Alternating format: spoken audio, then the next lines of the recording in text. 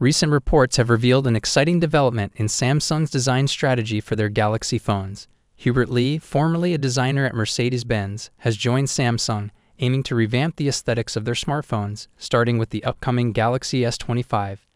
Interestingly, the Galaxy Z Fold 6 will be the first device to showcase this new design direction. Rumors from South Korean media suggest that the design changes in the Z Fold 6 will align with those expected in the S25 series. The Z Fold phones have maintained a consistent design since the Z Fold 3, making this upcoming change highly anticipated. While specific details about the design alterations are yet to be disclosed, South Korean media has provided intriguing insights into both the Z Fold 6 and the Z Flip 6.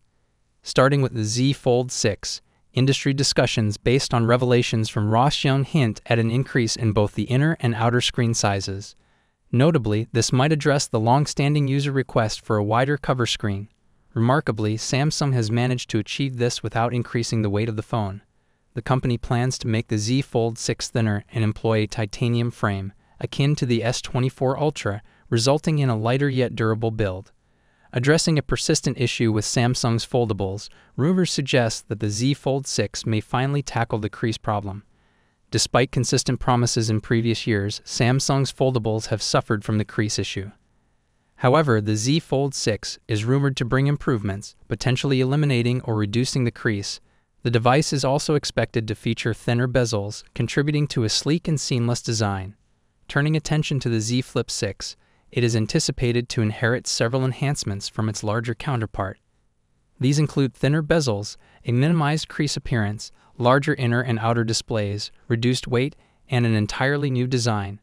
The cover screen of the Z Flip 6 is rumored to measure 3.9 inches, marking a substantial 15% increase compared to its predecessor. In summary, both the Z Fold 6 and Z Flip 6 represent a significant leap forward in Samsung's design evolution. These devices promise substantial upgrades after years of minor refinements.